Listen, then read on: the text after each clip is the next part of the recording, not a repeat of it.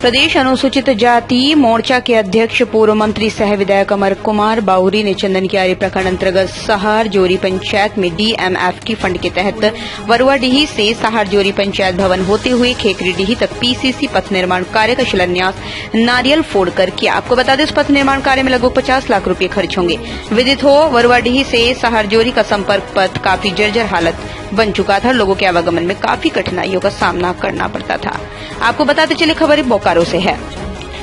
वहीं दूसरी तरफ़ पंचायत भवन से खेकरी डीही तक का पहुँच पथ कच्चा होने की वजह से राहगीरों को काफ़ी दिक्कतें होती थी, विशेषकर बरसात के दिनों में, जिसका शिलान्यास होने पर ग्रामीणों में उम्मीद की किरण जगी। राहत की सांस ली। आपको ये भी बता दें कि सहारजोरी पंचायत में इस पथ का बहुप्रतीक्षित मांगों में से एक पथ रहा है। मौके पर जिला परिषद सदस्य नरेश रजवार, मुखिया अजय कुमार शर्मा, राजेश राजमाही, अन्य गणमान्य लोग मौजूद रहे। बोकारो से मुकेश कुमार, महता की रिपोर्ट।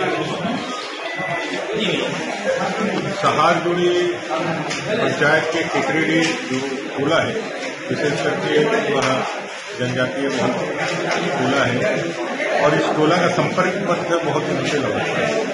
आज एस के पंच से तीन सौ ग्यारह मीटर यह सड़क बंद करके तैयार होगा, इसका शिलान्यास शुरू किया है।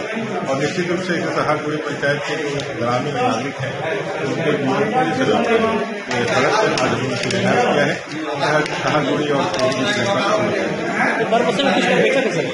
अभी बरमसिया में हम लोग, जो अपना कार्यक्रम चल रहा है, मेरा माटी, मेरा देश उसके तहत एक गतिविधि भी है माटी का पानी और फिर अट्ठाईस तारीख को माननीय बाबूलाल माननीय प्रदेश अध्यक्ष भारतीय जनता पार्टी झारखंड मध्य प्रदेश उनका आगमन होना है तो उसकी भी तैयारी बैठक दमदार निर्माण का भरोसा, लाल स्टील टीएमटी बार्स हर निर्माण के लिए उपयोग, लाल स्टील टीएमटी बार्स रिश्ता, मजबूती का।